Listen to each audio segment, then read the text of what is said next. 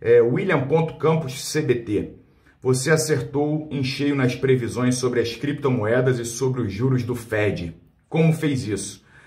Cara, William, é, eu, não, eu, não, fiz previsão de quanto que ia cair criptomoeda ou de quanto que o Fed ia levar os juros. Não. Eu só falei que o Fed ia subir bastante os juros e que as criptomoedas iam ter um tombo sinistro. E realmente nisso eu acertei, mas era bem previsível, né, cara? Se você olhar o panorama macroeconômico, tá, tá bem complicado, né?